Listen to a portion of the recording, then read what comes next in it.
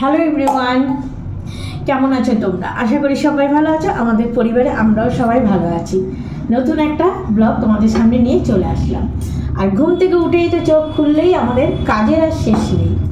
চা হয়ে গেছে, আর এটা করলাম ছেলের জন্য। ছেলের একটু লিকার চা দেবো। ছেলে এমনি চা খেতে চায় না। আর একদিকে ভালো, জানো তো, আমার ছেলেটা আবার দুধ চা পছন্দ করে না। আমি আবার দুধ চা খেতে পছন্দ করি। মামের না দুধ চা না খেলে না মনে হয় না যে চা খেয়েছি। মনে হয় কি, কেমন যেন লাগে। একদমই ভালো লাগে না। এই জন্য কোথাও কারোর বাড়ি গেলে না মানে খুব অসুবিধা হয়ে যায়। মানে কেউ যদি বলে, লিকার চা খাবে তো? এখন অনেকে কিন্তু দুধ চা খায় না। কেউ বলে না, আমি হ্যাঁ হ্যাঁ খাব। তখন মুখের সামনে বলা যায় যে, আমি দুধ চা ছাড়া খাই না। তবে খাই, ভদ্রতার খাতিরে একটু খেতে হয়। আর বিকেলবেলা আমি আবার লিকার চা খাই। খাই আর কি মানে আমাদের ওর জন্য। ও আবার বিকেলবেলা দুধ চা পছন্দ করে না। আর দুধ চা ক্ষতি করে, শরীরের খুবই ক্ষতি করে। দেখছি ছেলে আবার ওদিকে ডাকাডাকি করে কিনা। আর রোদ কিন্তু বেশ ঝলমল করে উঠেছে। এখন বাজে সকাল সাড়ে নটা। মানে বুঝতেই তো পারছ, আমাদের হাউস ওয়াইফদের সকাল সাড়ে নটা মানে সমস্ত কাজকর্ম পড়ে রয়েছে। তা কাজকর্ম তো করব। কাজকর্মগুলো, ওগুলো তো আমার ডেলি ব্লগে চলে যাবে। আর তোমাদের সঙ্গে তো আমি যে কোনো একটা রেসিপি শেয়ার করি। আর এই দেখো, আমার লাকি ব্যাম্বো গাছটা না কত জায়গায় যে ঘুরে। একবার এখানে রাখি, একবার ওই পাশের রুমে টেবিলে রাখি। মানে একটু রোদ রোদ যাতে পায়, মাঝে মধ্যে একটু করে রোদে দিই। তাই এই জানালাটা দিয়ে খুব একটা রোদ আসে না, খুব অল্পই আসে। আর এই দিকে রেখেছি, এই কটা? গাছ। ঠিক আছে? এইদিকেও বেশ কয়েকটা গাছ রেখেছি। আর আমার এই পাশে বক্স জানালায় দুটো রেখেছি। মানে আমার ওই দিকের ওই পাটটায় না কোনো বক্স সিস্টেম নেই তো, তা গাছ এখানে রেখেছি দুটো অ্যালোভেরা। আস্তে আস্তে আনব। আস্তে আস্তে কিছু গাছ এখানে, এই দেখো অ্যালোভেরা। অ্যালোভেরার সঙ্গে এগুলো মনে হয় টাইমে টাইমে ফোটে। হ্যাঁ টাইম ফুলগুলো। আর আমার বাড়ির অ্যালোভেরার অবাক বিষয় কি বলতো? আমাদের বাড়িতে ছিলই না অ্যালোভেরা গাছ। আমার শাশুড়ি তিরিশ টাকা দিয়ে একটা চারা এনেছিল। তা সেইটার থেকে এখন আমার ছাদ, ছাদে তো মানে পুরো ভর্তি। আমার ডেলি ব্লগে দেখতে পাবে, পুরো ছাদে ভর্তি। তা মানে আর অভাব হয় না। ওই তিরিশ টাকাই আমার বাড়ি একদম অ্যালোভেরা গাছ ছড়িয়ে দিয়েছে। তা যাই হোক, চা তো খাব, খেয়ে আজকে তোমাদের সঙ্গে একটা রেসিপি শেয়ার করব। বাজার আসুক কী রেসিপি তোমরা স্টার্টিংয়ে দেখে বুঝেই গেছো। চলো, এটা একটা নতুনত্ব রেসিপি জানি এই মানে কি বলব আর তোমাদের? আর কিছু বলার নেই। বাজার অলরেডি চলে আসবে, কারণ মাছটা এখনও আসেনি। ফোন করল শাশুড়ি যে, এই মাছটা কিনেছি। তা ভাবলাম, এই, ওই মাছটার রেসিপি তোমাদের সঙ্গে শেয়ার করব। আর এই মাছটা কিন্তু আমার হাজব্যান্ড খেয়ে বলে খুব সুস্বাদু। মাছটা আমি কীভাবে রান্না করব, তোমরা সাথে থাকো, দেখতে থাকো।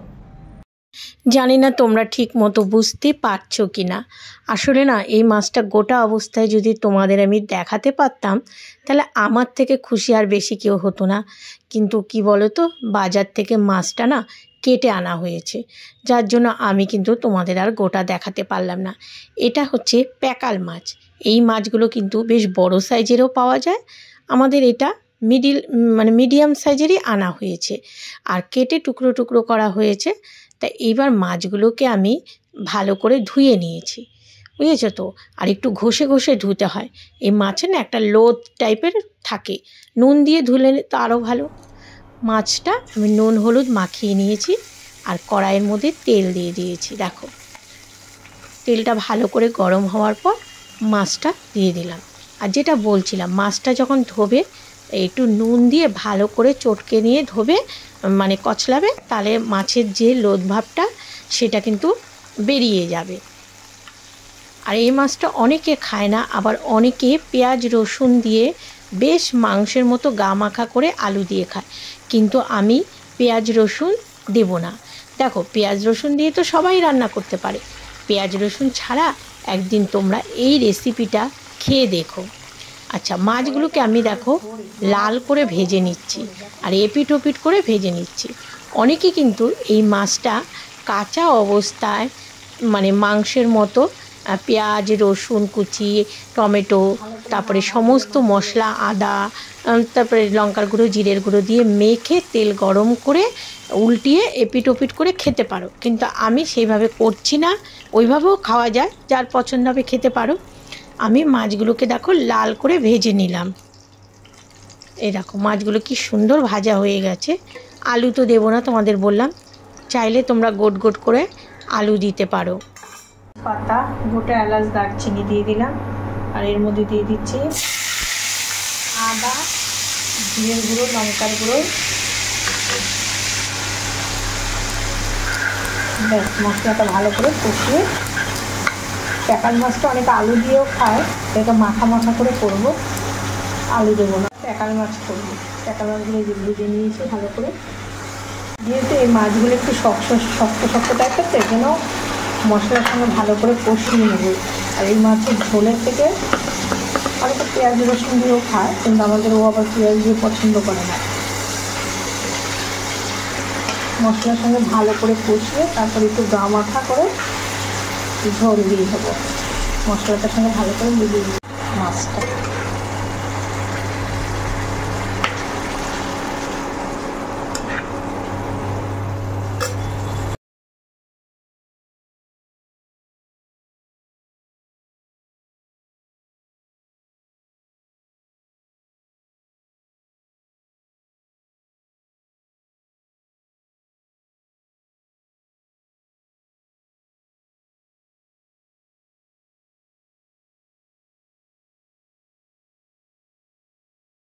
ফাইনাল দেখে নাও কি দারুণ হয়েছে। আর এই যে অল্প মাখা মাখা তেল তেল, এটা দিয়েই ভাত মেখে খাওয়া হয়ে যায়।